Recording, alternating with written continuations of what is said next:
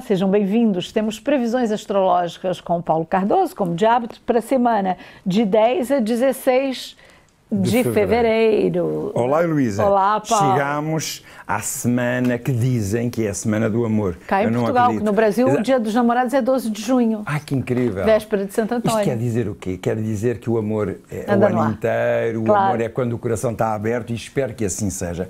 Mas já agora, se vier esta semana algum reforço amoroso, também não vamos dizer que não. Para os carneiros, temos, por exemplo, um Sol na casa 11 e um Mercúrio na casa 12 mas 12 é clandestinidade, então amor clandestino, então eu nem vou dizer isso. Portanto, vou focar mais no Marte na casa 9. Ou seja, nesta fase, nesta semana, uh, irá concluir que é mais proveitoso ter a participação de terceiros nas decisões que tiver que tomar uh, do que tomá-las sozinho. Ouça com atenção os seus argumentos dos outros e sem arrogância. Ou seja, contraponha calmamente ideias e formule opiniões sem uh, demasiado individualismo. Uhum. Da discussão irá surgir a luz, como diz o ditado. Por isso poderá sentir uma certa intranquilidade e insatisfação, mas que depois se irá ou poderá serenar. Bom, isto quer dizer que já estou a imaginar. Há um amor mais exaltado, mas que depois acaba tudo em romance e acaba tudo, digamos, uh, com muitos beijinhos à mistura, etc. Bom, procure dedicar-se a trabalhos concretos que distraiam e ocupem o seu espírito, levando-o a uma atitude positiva. Espero que sim e que tire plena partido, pleno partido desta semana. Muito bem, vamos a touro. Touro temos o Sol em 10, que é, é uma, é uma posição muito eh, realizadora, trabalho, contactos, sociedade. Mercúrio também anda por lá. Vênus está na casa 12, que vai, digamos, sublinhar a sensibilidade, e por tudo isto, eu poderia dizer que para os taurinos este é um período ideal para estabelecer contactos com os seus amigos ou com os grupos de uma maneira em geral, porque é, tem a ver com a Casa 11. E eu, sempre que falo na Casa 11, tenho que falar nos grupos, porque é a relação que está em foco ao longo destes dias. Poderá ter diálogos criativos e pouco sujeitos a imposições ou a regras sociais. Portanto, pode mesmo fugir daquilo que é moralmente aceito. Tire partido da opinião de pessoas mais jovens e, por outro lado, eh, sei lá, poderão surgir conflitos relacionados com a obtenção, sei lá, de bens materiais, de heranças ou até de propriedades, de, de, de, bens que pertencem a outros. Não seja rígido e aproveite para aumentar, ou, ou melhor, modificar atitudes e renovar as suas convicções pessoais. Taurinos ao poder. Muito bem. Gêmeos. Gêmeos. Para Gêmeos temos Sol em 9, Mercúrio em 10, Vênus também está em 11. Este será um momento positivo do ponto de vista profissional, no qual podem surgir novas ideias e maior capacidade prática e até uma certa lógica de melhoria para as poder concretizar. Poderá sentir maior satisfação na sua relação com a vida em geral e até maior contentamento do ponto de vista afetivo e ainda, sei lá, melhorava a sua imagem pessoal. Bom, estará com mais cautela em relação à sua conduta moral, àquilo que se deve fazer e um pouco, um bocadinho mais legalista do que é habitual para o seu signo. Muito bem. Boa semana. E caranguejo? Para caranguejo, temos muitos planetas na casa 8 e 9, uh, eh, Mercúrio está na casa 9, Vênus está na casa 10, por isso eu poderia dizer que, sei lá, é uma época de transformação, sempre que mete a casa 8, mete momentos de transformação. E, e, além dessa transformação, uh, uh, poderá sentir situações novas que vão substituir a rotina mais usual poderá talvez assimilar o início, o início, será de um estilo de vida diferente, uma nova maneira de estar, de pensar, etc, etc. Poderá também sentir alguma dificuldade em lidar com as tarefas do dia a dia que exigem uh, atenção todos os dias, aquelas coisas mais rotineiras. Uma viagem ou um contacto com um amigo distante poderão satisfazer a sua natural curiosidade e desejo de mudança e até, quem sabe, trazer-lhe experiências enriquecedoras. Espero que assim seja. Muito bem, e seguimos para Leão. Para Leão, para Leão, para Leão temos Sol em 7. Eh, o Mercúrio está em 8, o Vênus em 9. Bom, há aqui posições muito estimulantes, uma ou outra que podem, digamos, conter a energia leonina. Vai por isso sentir agora maior energia, maior capacidade de estratégia e até de transformar. Cá está, a palavra de ordem é transformar que é a casa 8, transformar positivamente uma certa situação que não estava resolvida no passado.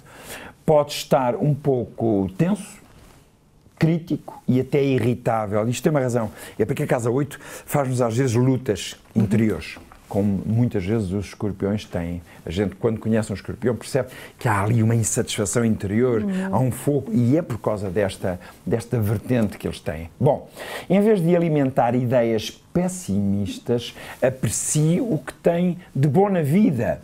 O seu lado romântico apaixonado e idealista estará sublinhado e não, não quererá esconder os seus sentimentos, sobretudo ao longo desta semana. As suas relações afetivas serão mais intensas. Não podem pedir mais uh, uma semana que é a semana dos namorados. Portanto, é assim, os astros parecem estar a conjugar-se para os leoninos. Hum. Não sei se para os outros isto vai ser assim. Vamos para a Virgem. Vamos ver se o Virgem também está bafejado por estas predisposições? Sim e não. Bom, nesta altura está a desenvolver a sua capacidade de aprender mais acerca de si mesmo. Em vez de criticar as coisas, vai-se criticar a si mesmo. Esta aprendizagem será realizada através das suas relações com os outros, de uma maneira geral e, sobretudo, na sua relação a dois é um excelente momento, ou uma semana, para examinar o seu relacionamento afetivo, amoroso e até para descobrir o que ele necessita para evoluir. Portanto, eh, eh, vai estar mais aberto àquilo que os outros estão à espera que você seja para eles. Por outro lado, procure analisar os seus sentimentos em relação àqueles que o rodeiam, porque esta semana é muito propícia a isso. Muito bem, vamos para balança. balança. Balança temos planetas Sol em 5, Mercúrio em 6, Vênus em 7, Marte em 3, por isso nesta semana é o seu, vamos lá, é o mundo do trabalho que lhe vai uh, pedir, requerer a sua maior atenção. Poderá tornar-se mais perfeccionista, um bocadinho mais virgem, mais metódico, um bocadinho mais virgem, e ter maior necessidade de aprender novos métodos para rentabilizar o seu trabalho. Isto é tudo um bocadinho virginiano. Bom, é ainda uma boa altura para cuidar da sua saúde e regularizar alguns desequilíbrios. Se porventura tiver filhos, aproveite para analisar a vossa forma de relacionamento, porque ela vai poder ser melhorada ao longo destes dias. Há coisas que precisam de ser ditas, trocadas, ouvidas, e com isso vai poder melhorar a relação com os seus filhos, se os tiver, naturalmente. Muito bem, vamos para o escorpião. O escorpião, o que é que eu posso dizer para o escorpião? Tem muitos planetas abaixo do horizonte. 4, casa 5, casa 6, casa 12. Os planetas estão praticamente todos na parte de baixo, mais intimista do zodíaco, ou seja, eu poderia dizer que nesta altura estará mais criativo, interiorizado também, uhum. e apaixonado na sua forma como expressa, na forma como expressa as suas ideias. É, vai estar um bocadinho mais subjetivo. Bom, é possível que tenha dificuldade em aceitar as opiniões dos outros, pois pudera, está mais voltado para si, sente agora maior atração por jogos e divertimentos. Isto vem da Casa 5, que tem a ver com uhum. jogos, divertimentos, prazeres. Por outro lado, poderá ganhar até dinheiro através do jogo. Eu não, não sou responsável por isso, mas jogue com moderação, porque a Casa 5 ajuda nestes períodos. Por isso, nesta semana pode sentir-se, por outro lado, e quase que é uma posição um bocadinho inseguro, caso, caso não consiga atingir os objetivos relativamente aos bens monetários que se propôs adquirir. Se não conseguir comprar, não é agora. Ou se espera uma semana, duas semanas uhum. e a coisa vai lá e o mundo vai girando e os artes vão poder fazê-lo desfrutar disso, se calhar daqui a uma ou duas semanas. E Sagitário? Para Sagitário, bom, casa Sol está em casa 3, Mercúrio em 4, Vênus em 5, Marte na casa 1. Bom, isto vai ser uma semana de quê? De muito trabalho e de grande atividade física uh, nestes dias. Sente, vai sentir-se com grande energia física, com mais confiança, se é possível, em si e com capacidade de lutar pela defesa dos seus interesses. Lute por eles esta semana, porque isto vai ser extremamente benéfico. Se vai sentir uma maior clareza de ideias, por isso mesmo, e vai poder ver agora, vamos lá, esclarecidas algumas dúvidas que pairavam no seu espírito e que não estavam ainda completamente definidas. Aproveite também a capacidade de ação e de criatividade que sente agora para realizar ou dar andamento ou até para concluir tarefas ou projetos que foram preparados nas últimas semanas. Muito bem. E Capricórnio? Capricórnio. Temos para Capricórnio Sol em 2, Mercúrio em 3, Vênus em 4, mas Marte em 12 para contrabalançar, digamos assim. Esta é, pois, uma fase em que vai sentir necessidade de assegurar o seu futuro material. Vai pensar mais na relação com a realidade concreta, que também já é um, um ponto extremamente importante na sua personalidade. Concretizando projetos que lhe vão incrementar os seus valores financeiros, naturalmente. Uhum. Deverá agir com cautela e com prudência, tem muito a ver consigo, no uso a dar a esse mesmo dinheiro, aos seus recursos materiais. Este trânsito aconselha-o mais à reflexão do que a tomar decisões definitivas, ou dizer, ah, isto de hoje para sempre vai ser assim ossado. Não as resoluções são importantes, mas não têm que ser definitivas nesta altura. Se tiver de fazer um negócio, um contrato um, um, qualquer forma de compra ou de venda, procure documentar-se devidamente. Eu estou a dizer isto porque há um planeta na casa 12. E os planetas, quando estão na casa 12, às vezes levam-nos a pequenos equívocos e, portanto, isto pode levá-los a, aquelas letrinhas, um contrato que a gente não lê bem, assina e depois arrepende-se, etc, etc. Não faça isso. Leia duas vezes. Aquário. Vamos para Aquário.